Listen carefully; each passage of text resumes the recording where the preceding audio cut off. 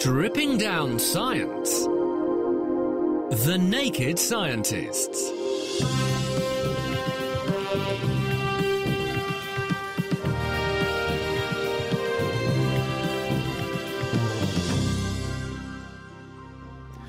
How can neutrons probe the properties of materials?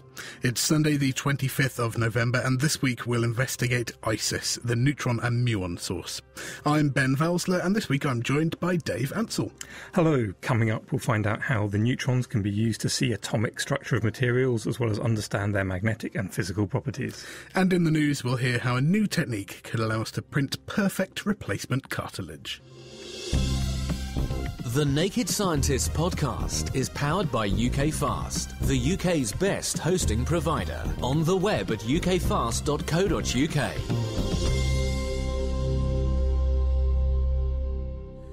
Chris Smith is in Australia this week, so we thought we would take the opportunity to take you on our own little outing, and we're going to go to the ISIS neutron and muon source in Abingdon in Oxfordshire.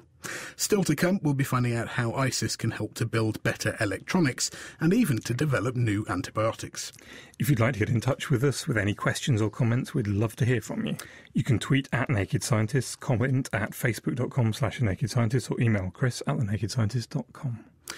Now, ISIS is a centre for neutron and muon science based in Oxfordshire and run by the Science and Technology Facilities Council. It's used for a vast range of different research, as any scientist who has a good enough application can use the facility for free. To find out more about ISIS itself, I went to visit Martin Bull, who took me on a little tour.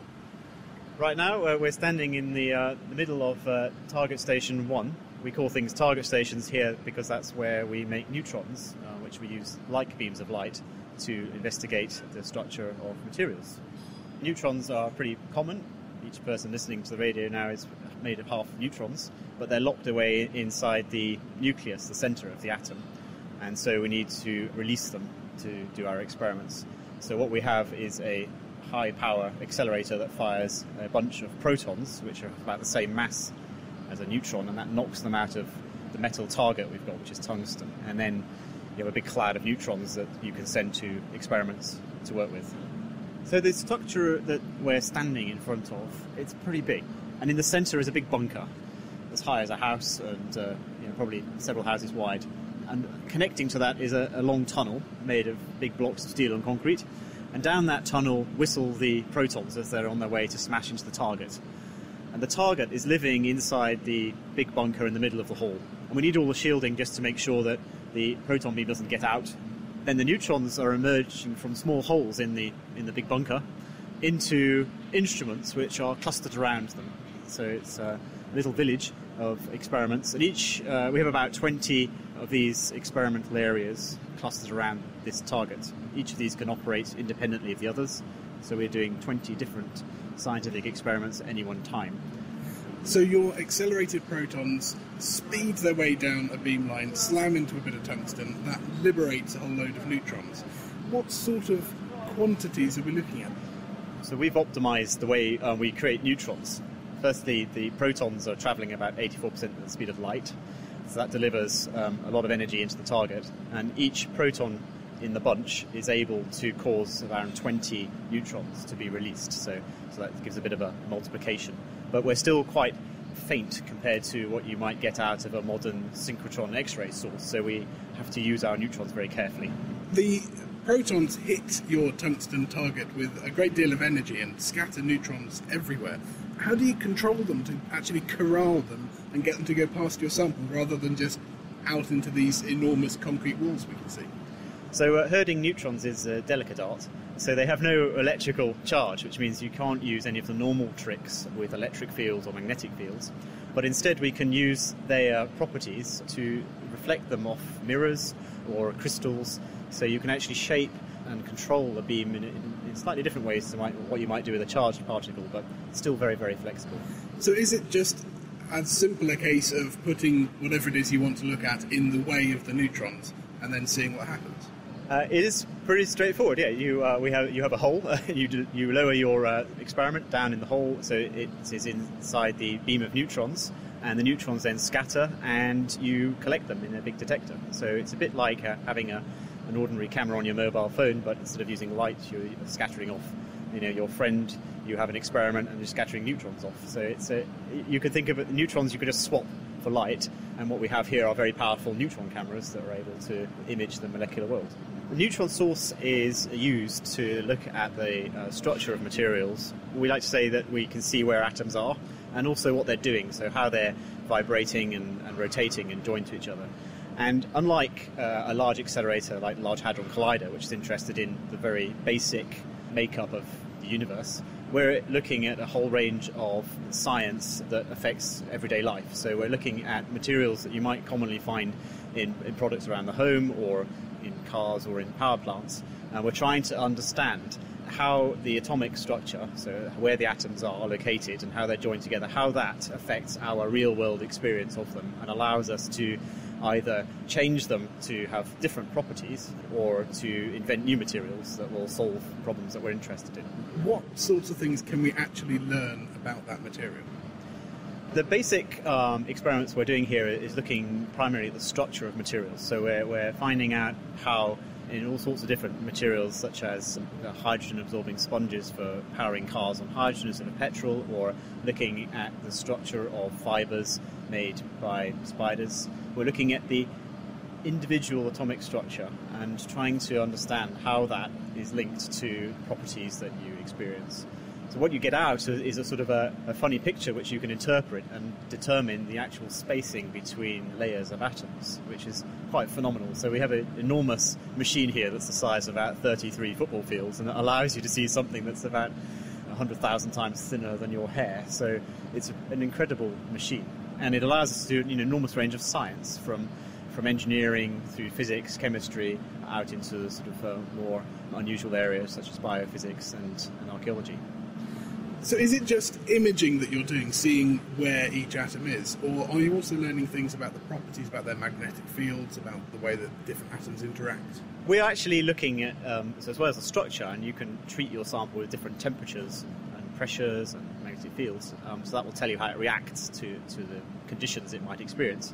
But also, as well as measuring the structure, we're actually able to measure how atoms are bonded together. So this gives you uh, access to all sorts of different information, such as how a polymer, long polymer chain might be flexing and, and parts of it rotating, and how that affects the properties. It might also be looking at the magnetism of a material. So, take iron as an example. If you take that down to its atomic structure, every atom of iron behaves like a little magnet. Neutrons are actually also able to sense the magnetism, and that gives you a whole unique insight into how they're working, something you can't really do very well with many other techniques. So when you combine being able to measure the structure with also the motion and the magnetic information that can also come out, then you have a really very, very powerful tool. Looking at other imaging techniques, there's usually a compromise somewhere. Electron microscopes are fantastic, but you need to very carefully control the material that you put in in the first place. The diamond synchrotron, which is just a few meters away, really, is a very powerful X-ray source, but you quite often vaporize the things that you put in. How do you need to prepare a sample to go into a neutron source? Uh, yeah, neutrons, um, by having no electrical charge, um, are actually a nice, delicate way to measure things. So you mentioned the diamond light source, and that's X-rays it produces are you know an extremely powerful and successful way of measuring materials. However, some very delicate samples, such as protein crystals, can suffer damage from the X ray beam. That's where you might start to be interested in using a neutron technique, is when you want to uh, look at a slightly different way of seeing the material. And so, because the neutron has no electrical charge, it doesn't cause any damage, and it's also very penetrating, so you can see right inside things that you wouldn't normally be able to see into. Say a, a piece of aircraft turbine with an X ray beam you might struggle to see right the way through it, but with a neutron beam, that's pretty simple to do. That was Dr. Martin Bull showing me around the ISIS facility. Now, ISIS can be used for a huge range of science, and later in the show, we'll hear how it's being used for understanding biological systems and protecting electronic components. But we're joined in the studio today by Professor Martin Dove from the School of Physics and Astronomy at Queen Mary University of London. He uses ISIS in his current position and in his previous life as Professor of Computational Mineral Physics in the Department of Earth Sciences at the University of Cambridge. Martin, thank you very much for joining us. Uh, we'll get on to how you use ISIS in a moment. But first of all, generally, how do scientists get access to ISIS? How do they apply? So every half year, uh, you will write a little proposal. Then it gets assessed by a panel, panel of your peers, so standard peer review. That happens every as every half year, and then if you're successful, you get scheduled. So, is there a sort of quota that we must do this much materials, this much biology, this much basic physics, or is it just that the strongest applications win out? It's always that the strongest win out, but the you know, this is a type of science where people will come along and do shortish experiments, two, three, four days, and there are enough ex- instruments and enough running time that actually you get the mixture more or less quite naturally, I think as Martin Bull was saying, there's a sort of village of different yeah, instruments around right, which means yeah. he can do lots of different experiments right. and they're all at, different, at the same time. Yeah, and they're all different types of experiments. Some of them are to look at specifically at structure, some of them are to look at the way atoms move around, and some of them are a mixture. So, what is it that you currently use ISIS for in your, your present position at QMUL? Well, our, our big interest is in how the properties of materials are determined by the two aspects that Martin talked about where the atoms are and how they move around. And we do different sorts of experiments on that. Some of the experiments we do are focused mostly on the structure, in which case you, you fire the neutrons in and you measure where they come off, and uh, you then fit a very simple model of the structure. Sometimes you actually do what is called spectroscopy, where the neutrons come in and they bounce off with a change in energy, and that change in energy is telling you about the energy of the vibrations inside the material. The other type of experiment which we've we've done really quite a lot of lately is where you attempt to get a snapshot, a series of snapshots of where the atoms are at any point in time. And there you pick up both where they are on average, but actually how they fluctuate as well, how the atoms are bouncing around. And you see both in the same same picture. And one, one of the things that we're trying to then do is build atomic models that are then consistent with the data. And that tells us a lot about the, the way that the atoms are moving around and how, particularly, the structure departs from its sort of average structure. And that very often tells you something about the way the material behaves. So the answers that we're looking for are to do with the structure and also the dynamics That's of it. right, yeah. How do we then use those answers to actually tell us something meaningful about the physics of it, or, or at a, a macro scale, as it were? Well, in the end, macroscopic properties of materials are determined exactly by what goes on at an atomic scale. So, if you look at something like, I mean, the range of examples, memory devices, uh, where you clearly have a, a, a, macroscopic magnetism, but that is due entirely to what the atoms are doing.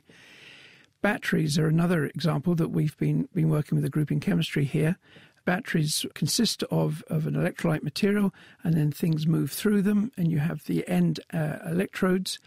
And quite what, where the atoms are going in all that process, again, is something to do with uh, something that neutrons will tell us about, and where the atoms are going will determine what the battery properties are.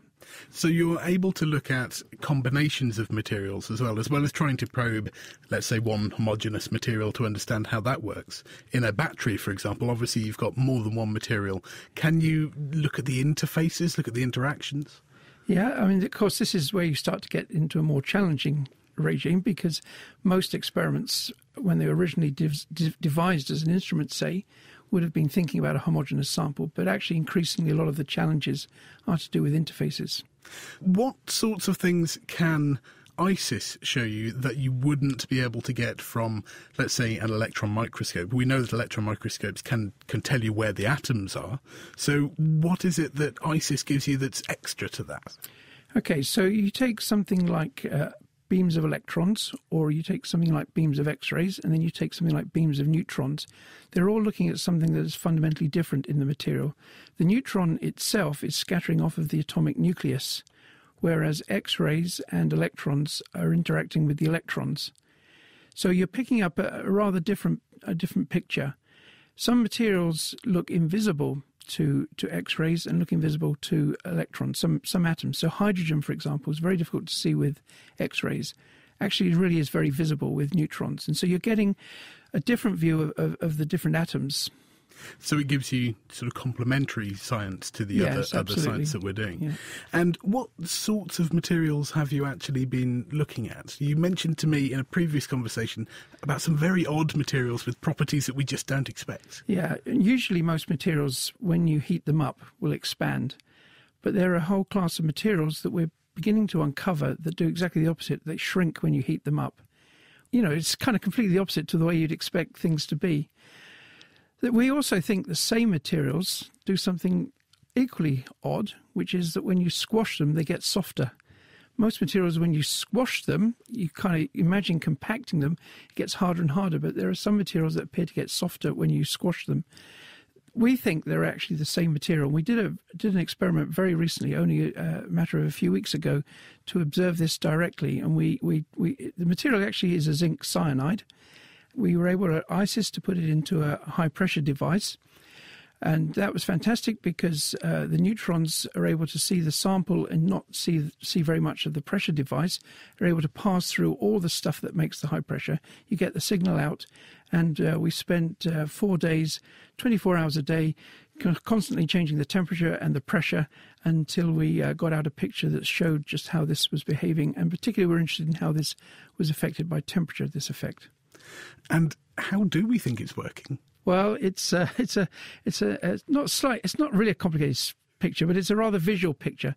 If you think of three atoms in in a straight line, so A, B, and C, and then the one in the middle might usually be an oxygen, something like that.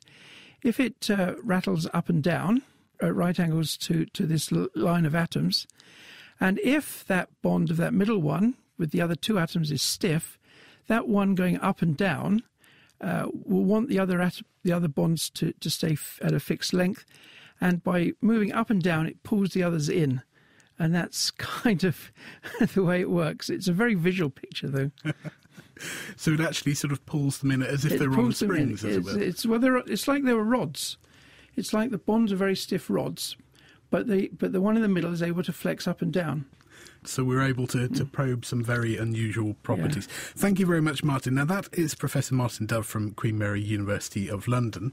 Martin will be with us for the rest of the show, so if you have any questions for him for or for us, then get in touch. Tweet at Naked Scientists, comment at facebook.com slash The Naked Scientists, or email chris at thenakedscientist.com. Still to come, we will find out how ISIS can help to design longer lasting electronic components and can investigate interactions between bacteria.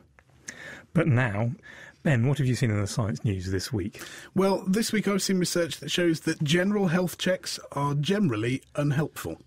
This is a systematic review of research into general health checks, and it shows that although they increase the number of diagnoses, they do not, in fact, reduce the number of deaths from cardiovascular or cancer diseases. Now, routine health checks, these are uh, testing healthy people for indicators of a range of conditions. They are common elements of healthcare in certain countries. And the idea is that by checking regularly for risk factors such as high blood pressure or high cholesterol, we should be able to reduce morbidity, we should be able to prolong people's lives. Now, that seems a very worthwhile aim, I'm sure you'll agree. And uh, intuitively, it feels like health checks should be a good thing. Yeah, you'd have thought that if you find a problem, you ought to be able to do something to fix it.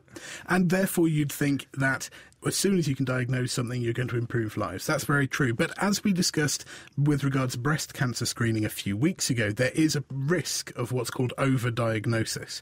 And that is finding evidence of a condition that would never have actually become a problem, and therefore potentially recommending unnecessary, possibly invasive treatment for it.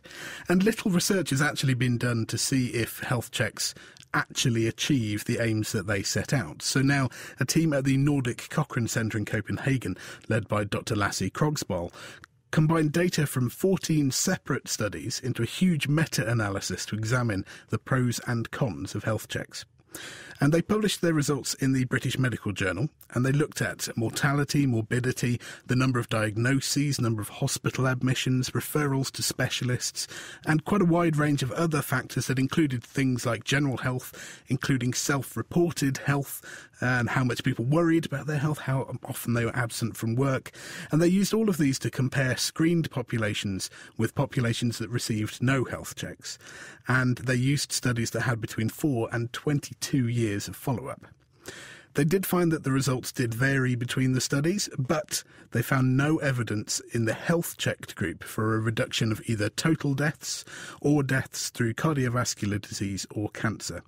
They did, of course, find evidence of an increase in diagnosis, but because this didn't lead to a change in mortality, we're sort of forced to assume that some of these are, in fact, the overdiagnoses that, that we didn't need to find in the first place. So, what does that then say for general health checks? Well, the authors argue that they appeal to people who perhaps need them less anyway. So, if you're offered one, if you're the sort of person who's health conscious, you're more likely to say yes. And they point out as well that doctors are already very good at screening patients where they think it's needed. So it could well be that without the health checks, they're spotting these things regardless. And so they conclude that health checks do not work as intended. And also in the BMJ, a related editorial piece, Domhnall MacAuley suggests that policy should be based on evidence of well-being rather than on well-meant good intentions. So certainly gives us something to think about. Is the problem that the interventions aren't working or that just they're not doing the right tests to find anything which you wouldn't have picked up by just feeling ill and going to the doctor? Well, at this scale, it's really hard to tease out an individual problem, and they do suggest that we now need to look at individual screening programs to work out what, what might be going on. But I think really it's just showing that this broad sweep approach of checking over healthy people isn't doing what we want it to do. In an individual basis, it may well find something and save lives, there's no doubt about that. But at the same time, there will be enough people where it's finding something that would never have had an effect that that probably balances out.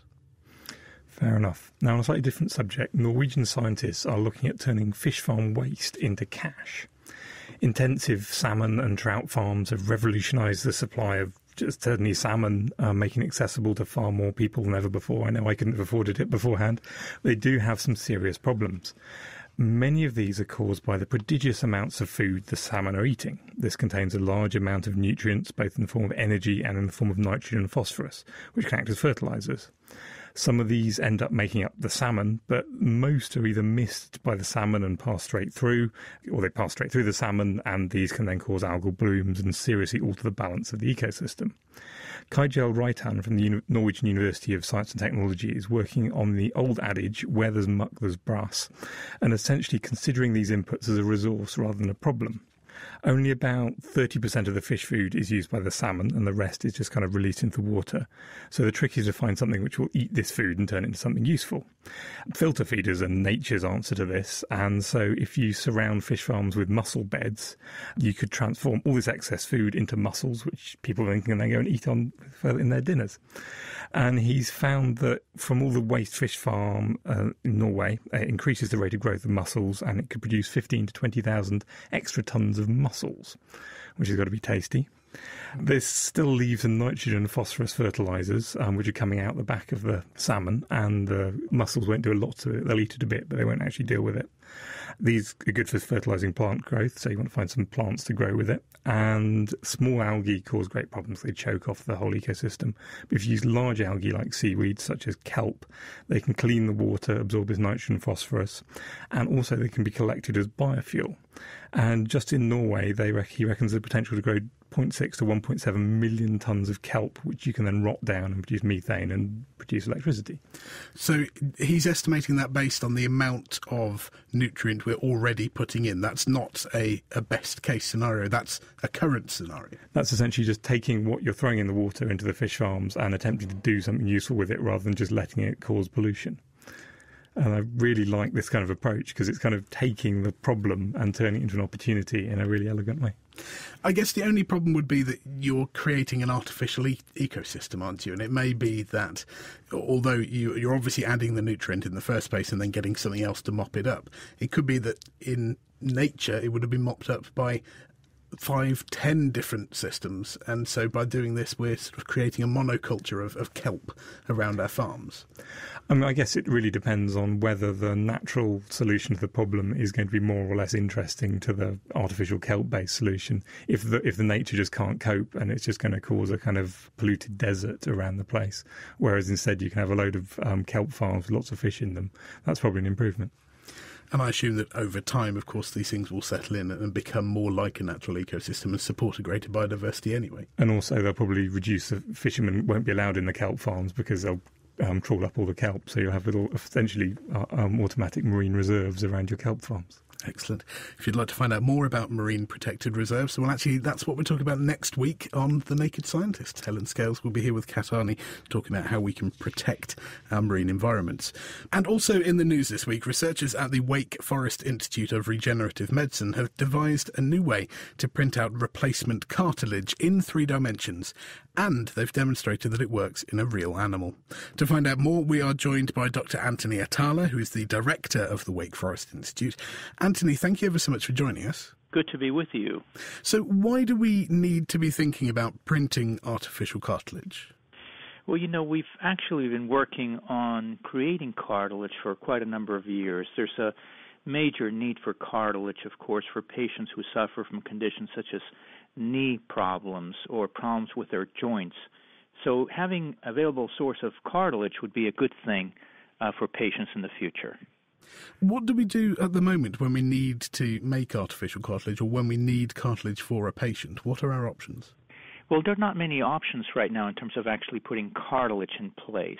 You know, once the cartilage wears out, it's very hard to actually put anything in there that would do a good job. So, you know, surgery is done, but really there's nothing better than real cartilage. Of course, you, for example, if you have a an accident where you have a a hip uh, fracture, you know, you're you're putting in metal pieces in place instead of putting a real what we call elastic cartilage in place. So, what's been the basis of your work? What have you been doing? We basically have been uh, uh, focusing on creating tissues and organs using the patient's own cells. The concept is actually quite simple. We take a very small piece of tissue from the patient, less than half the size of a postage stamp, and we then are able to expand those cells outside the body, and we then can start creating new cartilage tissue that could be implanted into patients in the future. And this tissue that you're you're growing outside the body, does it have all of the right properties? Well, that is one of the the things that we're working on is to make sure that they have the right properties, and that is where the the uh, printing comes in because you can actually lay down cells exactly where they need to be in a predisposed manner where you can actually program uh, a printer to do so. Now, we've been hearing a lot about 3D printing recently. It does seem to be the future, but 3D printing of living tissue seems quite remarkable. Does it work in the same way, whereby you have a, a sort of inkjet head full of a cell culture and you just literally lay down the cells where you want them? That's exactly right. If you can picture your typical desktop inkjet printer, it really is utilizing very similar technology, but instead of using ink, we're using cells. You have a printer that goes back and forth and what we do is we we modified printer so that they would print one layer at a time. So instead of having a sheet of paper coming through one at a time imagine printing on the same sheet of paper over and over again and just building up over the same area until you make the three dimensional tissue that you need and do you need a, a, scaffold on which these cells can grow, or, or, can you literally just print them into three dimensions and they'll hold their shape? No, you do need a scaffold, actually. That's a good question. Uh, and we use different materials as scaffolds. We use gels that look like gelatin, if you will. Then they will hold the cells together in their shape, and these gels can then harden to different consistencies as needed. And then we can also use fibers to print. And uh, in fact, we have been able to use a combination of both gels and fibers for our printing technology. So, when you've done this, how well did the cells survive, and, and how well did they actually work when you did the mechanical tests that imitate what a, a real bit of cartilage is likely to go through? Yeah, the, the cells survive nicely. In fact, what we do is we actually are using the same technology that uh, you are familiar with with an inkjet printer. What happens is you have little air bubbles that get formed inside the cartridge. You have little air bubbles that get formed, and the cells get incorporated within those bubbles, and then are they're basically then released uh, without heat affecting the cells. So the cells come down through the inkjet printer through the print head uh, without being damaged, and then we're able to lay them down one layer at a time until they're able to form what they need to in terms of creating tissue with the uh, properties which are very similar to those in patients. And do we think that in the future this is a likelihood that we'll be able to just scan a knee, for example, and say, well, we need this exact 3D structure of cartilage, let's print one out and then surgically pop it in? Yes, that's in fact uh, the direction that we're headed. We are actually building printers that have scanners in them. So what you do is if you have the injured area, you actually scan the area, and with the same piece of machinery, we're able then to go back and lay down the cells where they're needed in their correct three-dimensional uh, three-dimensional structure. Fantastic. Well, that does certainly sound like surgery of the future. Thank you very much, Anthony. That's Dr. Anthony Atala from the Wake Forest Institute of Regenerative Medicine. You can find the paper that we were just talking about in the journal Bioinformatics, or as always, you can find more of all of our news on our website at thenakedscientists.com slash news. Time now for this week's instalment from Planet Earth Online. DNA, life's genetic code, can be found tightly packaged inside chromosomes. At the end of these chromosomes are specialized bits of DNA called telomeres, which often associate with aging. Birds are known for their long lives. Petrels, for instance, can live for up to 40 or 50 years. But by studying Australian zebra finches, whose average life expectancy is around five years, researchers can examine the relationship between telomeres and longevity.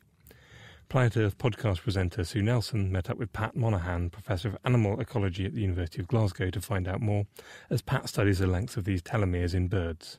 You can think of the telomeres as a bit like the little plastic caps that you get on the ends of shoelaces. Also, if you are tying your shoelaces in the dark, you know, you can feel the plastic caps. Now, these telomeres do the same kind of job inside a cell. They identify the chromosome ends and they also protect the DNA from a number of processes that cause the ends to, in effect, fray, if you like. Apart from the protection aspect of what they do, they're often associated with aging, though, as well. Why? Yes, they are. And one of the reasons is that every time the cell divides, the telomere gets a little bit shorter.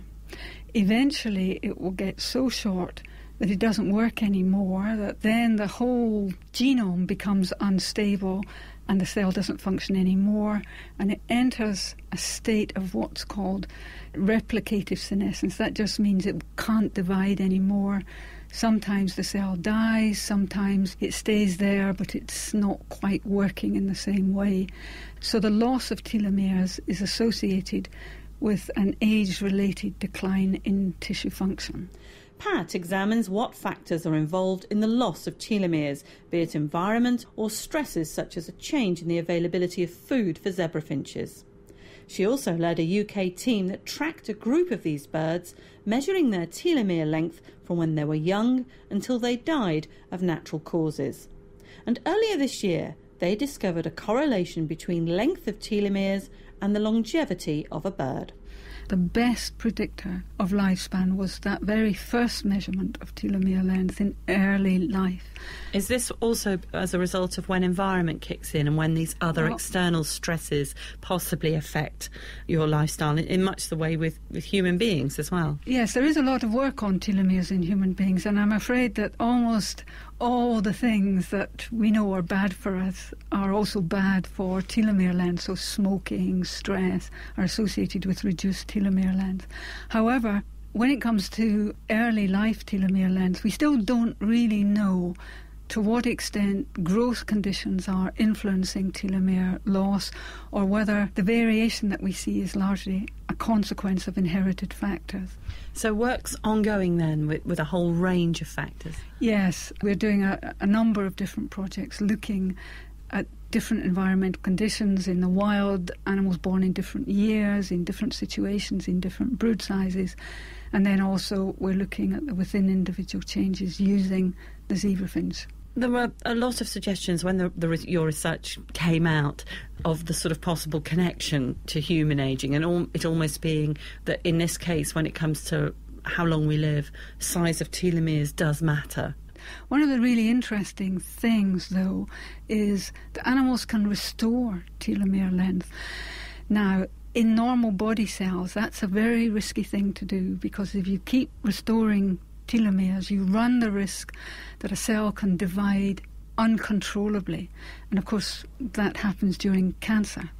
It's thought that one of the reasons we don't have, for example, in our in human body cells, we don't have telomerase usually active, is it's a protective process. It keeps a check on cell division. However, in some much shorter lived animals, they do have telomerase active in their tissues. So, yes, the basic processes are relevant to humans. People haven't done the kinds of studies that we have done in the zebrafinch in humans, that's to say, tracking telomere length in the same individuals from early in life until they die. The question about should we all run along and get our telomeres measured and say, okay, that predicts how long I'm going to live. Telomeres aren't everything. There are other things that go on. So it's a very active area of biology, but I wouldn't waste your money on running out and getting your telomere length measured because it's only going to make you either happy or miserable, but it scientifically isn't going to tell you exactly how long you're going to live. Good advice there from the University of Glasgow's Pat Monaghan, and a longer version of that interview can be heard at the current edition of the Planet Earth podcast. You can find it via Planet Earth online or on our website at thenakedscientist.com slash planet Earth. Reacting to the world's best science. The Naked Scientists. You're listening to The Naked Scientist with me, Dave Ansell, and with Ben Valsler. Now, let's return to this week's topic, looking at the science that can be done using the ISIS neutron and muon source. Now, we've heard how ISIS can be used as a type of microscope to image the positions and dynamics of atoms, but it's also ideal for seeing how neutrons themselves interact with systems. Neutrons can actually be a problem. They can damage sensitive electronic circuits and interact with computer systems. A new target station at ISIS allows real components to experience many years' worth of neutron impacts in just a few seconds, as Dr. Chris Frost explained. The, the problem is, is that it's raining, and it's not the rain that you and I normally see, which is water, it's neutrons.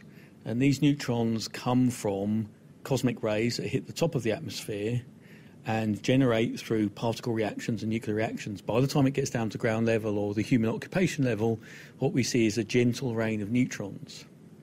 Now, humans and animals have evolved in this, so while it does damage to us, it does, damages our DNA, we have mechanisms that repair it.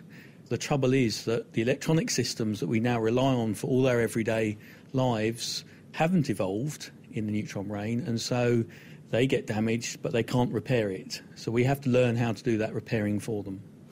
What sort of damage actually occurs? Are we talking about breaks in wires, or are we talking about a more subtle general corrosion?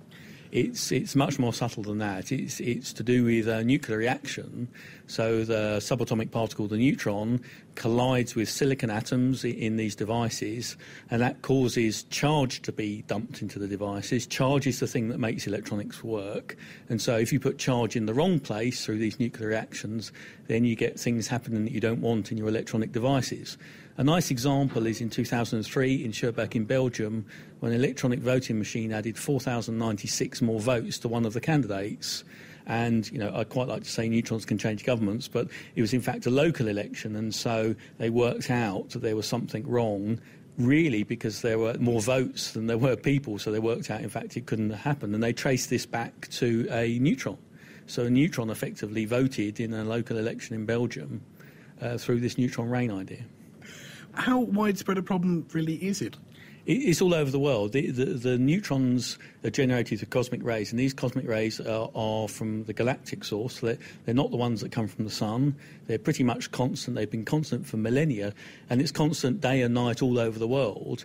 There is a slight variation due to the magnetic field of the Earth, but it's a problem worldwide, and it's a problem associated with pretty much all of the electronic industry.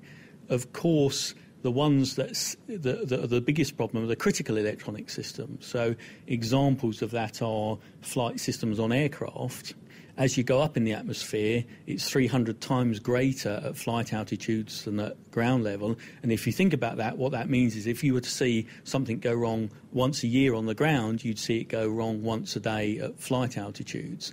So where this emerged first really was in the aerospace industry but the sky is falling. And what I mean by that is that electronic systems on the ground are increasingly seeing these effects as well, both in critical systems and in ones that we rely on every day. In the course of our lives, if you do banking, if you go on the internet, if you do almost anything in your life, you're interacting with electronic devices. And if those electronic devices go wrong, it can be inconvenient. In the worst possible case, it can cause injury. So, what actually are you doing here at ISIS? Well, what we're able to do is that we have a neutron source, and that neutron source, thankfully, we can mimic the uh, the spectrum of neutrons. And what I mean by is that the neutrons don't come in at one energy; they come in at all sorts of energies, and they come in at different numbers across that energy spectrum, as we call it. And so, what we're able to do here is to mimic what the spectrum looks like uh, with neutrons on the ground, so we can mimic that the way that it exists in nature.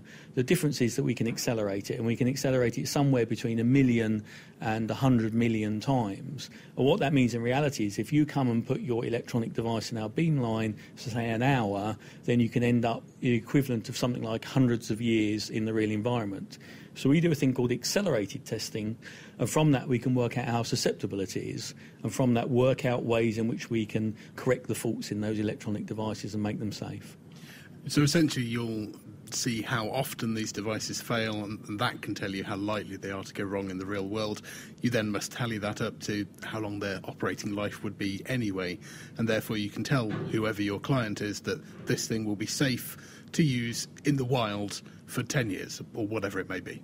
Yes, that's exactly right. And not only that, it can tell you, A, whether you need to correct it, because some devices might not be actually susceptible, or their susceptibility means that, you know, for instance, on a phone, it might fail once every three years, in which case you don't care. But if it was to fail every 10 minutes, you would care. So in, in, that case, you might decide that actually it's worthwhile in your development stage of your phone to put correction mechanisms for this event that goes on into your phone. That will cost you money to do that because it takes time for the software programmers and the engineers to design it in. So it tells you not only that it could fail, but it tells you how often it fails and it can also tell you how you're going to correct for it or even if it's worth it. So there's a great deal of commercial value to uh, people who produce things that we use every day. What sorts of industries do you think are likely to uh, knock on your door? We've already had them knocking on our door, and the kinds of industries are pretty much anybody that produces electronic devices where at the moment failure will cost them either in safety issues, so that would be, say, the aerospace industries, or in commercial issues. And examples of that are people who build the servers and the connections that build up the internet. So if you have a business that relies on a server, the person who sells you that server wants to tell you that that's a very reliable server. So people will come along and test those servers or the devices in those servers to make sure they work correctly. And how can you protect from this neutron rain? Well, it's a thing called hardening by design. That's a bit of a, a mouthful, but what it means is that you will put in redundancy, so you build many circuits and all of them run at the same time and they can vote on which one's the best, or else you put things that constantly check to see whether errors are occurring. That increasingly becomes difficult as electronics gets more complicated. The kinds of errors we're seeing and, and the way that they propagate through the system is changing, and so we have to stay ahead of the game and test and make sure that it works properly. So you're not just recommend that everybody keep their servers in a lead-lined room in order to keep them safe. Yeah, unfortunately, a lead-lined room won't do anything. The neutrons are so energetic they go straight through lead. So you can't protect by burying them in the ground unless you go a long way into the ground. So what you have to do, you have to do this hardening by design. You have to think about it very carefully. You have to understand what's going on, and then you design within your circuitry, within your software, within all the firmware and the way that it works to pick up the errors and correct them. Dr. Chris Frost, the project leader of chip irradiation research at ISIS. Now, the final stop on this week's tour of ISIS shows us how it also has a lot to contribute to the study of biological systems. In fact, ISIS has been used to shed light on how a naturally produced antibacterial protein gets into cells of E. coli. To find out more, I met Dr. Luke Clifton from ISIS, along with Stephen Holt and firstly Anton Lebrun from the Bragg Institute at the Australian Nuclear Science and Technology Organisation. We have a, um, a toxin that's called colicin N. It's produced by E. coli to kill competing E. coli cells. So when the, the E. coli cells in nature are under stress, such as um, there's a lack of nutrients, to control the population, the E. coli will produce this toxin to, kill off the competing cells so that there's enough nutrients to go around. And the problem that we were looking at was E. coli are what we call gram negative bacteria, which means they have a double membrane. How does this toxin cross the outer membrane to get to the inner one? It uses proteins in the outer membrane to do this. So we were looking at how does this toxin bind to the receptor protein and then cross that outer membrane. So this is a, a natural antibiotic, and you're trying to work out how it works. Ultimately, what would be the point? Why do we need to know how it actually gets into the cell? A number of reasons. So, in a membrane is what we call like a hydrophobic barrier.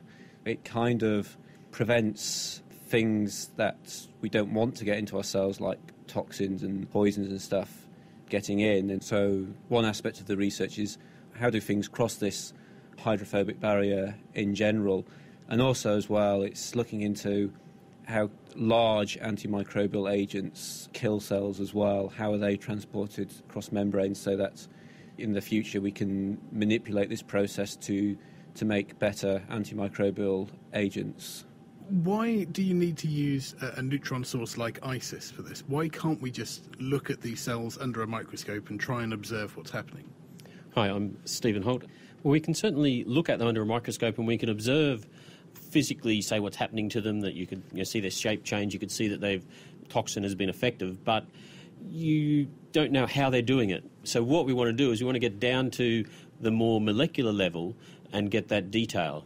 So with light, you're restricted in the resolution and in other aspects as well, such as determining different proteins. Just can't do that directly. Yeah, perhaps with some fluorescent tags you could, but then once again, you don't have the resolution that's really required. So we decided to use neutrons to do this, to get down to that molecular level and just try and see what each individual component was doing. I'm sure you're all aware that um, water is made up of H2O, hydrogen, and oxygen. Neutrons will interact with hydrogen in one particular way, and the real strength is that if you use deuterium as opposed to hydrogen. So that's an isotope of hydrogen. You can have D2O, so called heavy water, and neutrons will interact with that very, very differently. And then you can do the same thing with your proteins. You can replace some of the hydrogens or all of the hydrogens, if possible, with deuterium. So it's like tagging one of the proteins for neutrons. And so then we're able to see the two different proteins as very different entities. When we do this to them, we can pick them out individually, and that enables us to locate them within the complex or within the membrane that we're looking at, and to determine how one is moving, say, from the solution into the film. Does it move all the way in? Does it move part of the way in? Where is it located? And we could see a very strong difference between when we've got the membrane protein there and when it's not there, the toxin ended up in a very different position relative to the membrane. Luke, what are you actually doing with ISIS in order to see these interactions? Well, for this particular piece of work, we did uh, use two of the uh, techniques we have available at ISIS. One was uh, small angle neutron scattering, which allows us to uh, examine the uh, low resolution structure of particles in solution, and the other was um, neutron reflectometry, which allows us to analyse the structure of surfaces. Small angle neutron scattering is particularly useful in looking at the structure and structural changes of proteins in solution, whereas uh, neutron reflectometry is good at looking at the uh, structure of uh, model biological membranes and interactions with these. I assume their names give you a clue as to what's actually happening. So the small angle scattering involves seeing what happens when you aim the neutrons at a very acute angle and see how they scatter, whereas the reflectometry involves looking at how they bounce off. That's correct, yeah. What have you actually found out about this protein? How is it getting into those cells and doing its antibiotic work? The amount of the toxin protein that went into the film just there's just no way that can be sitting inside this ion channel, which is usually used just to enable individual ions, you know, chlorine, etc., to come in and out of cells. There was just no way that we could have stuffed that amount of protein inside these channels. It just wasn't physically possible. So then we figured the only thing that could be happening is it's sitting on the outside. And so then, when the small angle neutron scattering work was done, the structure, the low resolution structure that came out for the complex, very clearly showed that the colicin is actually going up between the membrane protein and the lipids in which it's sitting, and it's and it's not completely unfolding and going through this ion channel, but it's actually going around the outside and not having to unfold and perturb its structure as strongly as it would do if it went the other way. So it seems to be taking advantage of a, a weakness between a membrane protein and the membrane itself, and that's how it, it sneaks through. Whether you call it a weakness, I'm not sure because it's clear that if you just add any protein into the presence of E. coli, it doesn't go through that barrier. So there's still something very special about the way that colicin N can go through there. So this is not a general transport route, it's specific to this particular protein. And then if we can understand some of that specificity, then that perhaps is a way to begin to attack bacterial cells.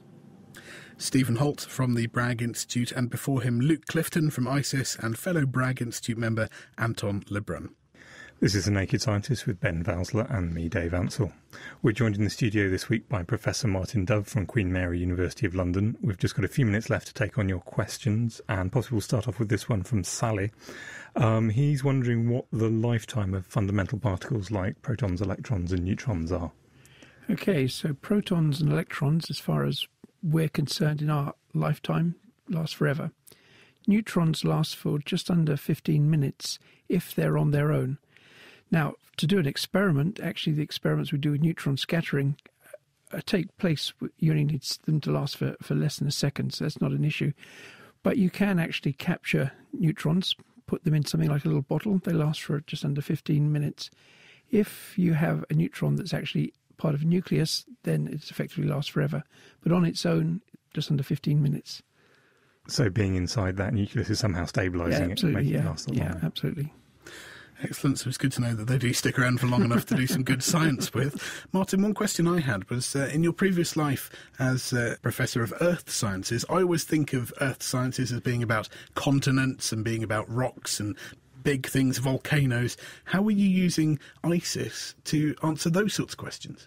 Well, the way the Earth works depends upon the properties of the materials that make up the Earth. So much of the inner Earth is made up of, of different sorts of silicates, and then you come up to the crust and you have many more different types of, of minerals. And uh, ISIS neutron source, excellent for understanding the properties, uh, the structure of these materials. One of the things that you can do with neutrons, which is which is uh, really very helpful, is that you can you can do experiments where you put the sample under both high pressure and high temperature. And what you can do with neutrons, because neutrons tend to need quite large samples, is you have a very large sample, but what you're able to d- achieve is actually a very good distribution of temperatures and pressures across the sample so that it isn't as if the sample is cold at the outside, hot in the middle, and uh, you get a, a big range. In fact, it's really quite good. So this is so you can understand how a material would work under the immense pressures and temperatures deep inside the Earth, which Yeah. we don't wouldn't know about otherwise. Yeah, that's right. You, you you can understand exactly how it compresses, what where the atoms move to when it compresses, if some of the the processes inside the the mineral cause it to change shape, the bonding changes. You can see all of that. So it gives us a more realistic picture, basically, by being able to interact with the physical properties as well as actually just having a look at the structure. Yeah, that's right. Because things like how how stiff the material is depends upon where uh, the atoms are in relationship to each other. That's exactly what we're learning.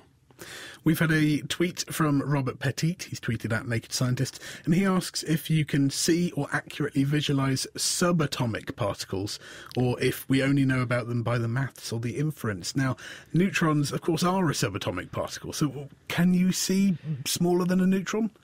Well, you can see uh, you can see a nucleus, and the nucleus of a hydrogen atom is a proton, which is the same. Uh, you can't see below that with uh, at least with the sorts of neutrons that ISIS produce, but you can see down to the level of the proton. And now, getting out of this world in her search for peace and quiet, here's Hannah Critchlow with her question of the week. The Naked Scientist's Question of the Week, brought to you in association with the Houter Wisman Foundation, supporting science and education from Alpha to Omega. This week, we find out if it might be true that on Mars no one can hear you scream, with a question from one of our listeners. Hi, Naked Scientists. Jodie from Plymouth here. I have a question about Mars. If Mars has much less dense atmosphere than that of Earth, does that mean that sound waves travel slower on that planet than it does our own? Thanks. First up, we crack into some calculations. In general, the speed of sound is proportional to the square root of a substance's stiffness divided by its density. Since Mars's atmosphere has a lower density than here on Earth, you'd expect the speed of sound to be faster than here on Earth. But if you reduce the pressure of a gas, the stiffness also reduces, so the speed of sound should stay about the same on Mars as it is on Earth. But there's another factor to consider. Mars is further away from the Sun. How does this affect the speed of sound? Over to an expert. My name is Catherine Conley, and I am the NASA Planetary Protection Officer. The difference is temperature. If you reduce the temperature of the atmosphere, the speed of sound does get slower. So, in fact, the speed of sound on Mars is about two thirds of the speed of sound on Earth. So, say two humans were to land on Mars, given the slightly lower speed of sound there, could they still speak to each other? A listener got in touch with his thoughts. Hello, this is Evan Stanbury from Sydney, Australia. The speed of sound on Mars is around 240 metres a second, a bit lower than the 340 metres a second on Earth. By itself, that wouldn't make sound communication harder. However, the atmospheric density of Mars is less than 1% of Earth, almost a vacuum by our standards. This means that sound attenuation is much greater, and so speech wouldn't carry very far. Human mouths and ears would not be able to couple sound efficiently into or out of the thin Martian atmosphere so humans would be effectively deaf. So, yes, the speed of sound is slower on Mars, largely due to the cold temperature there. And the atmosphere's lower density isn't suited to human speech and hearing systems, which have evolved for life on Earth. Instead, radio waves, a form of light, travels fine through low densities, so can be used as a method of communication up there. Which is how exploratory rovers on Mars, like Curiosity, communicate, not with each other, but with us on Earth, using radio wave messages travelling at the speed of light and taking about 15 minutes to be received here on Earth. Thanks, Jodie, for getting in touch with that great question, and Evan and Cassie for answering. Next up, we ask Can we make a real life Spider Man? Enrica's got in touch with this question. If we put the DNA from a spider into a human, what would happen? So, can you successfully mix spider and human DNA? And what could you create, if so? What do you think about that one? Let us know by posting on our Naked Scientists Facebook page, tweet at Naked Scientists, email chris at thenakedscientists.com, or you can join in the debate on our forum, which is at nakedscientists.com slash forum. That was Hannah Critchlow. And that is all that we actually have time for this week. Many thanks to Martin Dove from QMUL for joining us in the studio this week, and to Jennifer and Dove for tweeting at us earlier that she was listening to her dad on the Naked Scientist radio show. Thanks for listening, Jennifer. So next week we're going to dive into the oceans to discover how marine protected reserves could help to maintain fish stocks and preserve threatened marine ecosystems. Keep sending in your questions and comments to chris at thenakedscientist.com. And this week's show is produced by Hannah Critchlow and Tom Simpkins. The Naked Scientists podcast comes to you from Cambridge University and is supported by the Wellcome Trust, the EPSRC, the STFC, the Natural Environment Research Council, and UK Fast. For more cutting edge science, join us online at nakedscientists.com.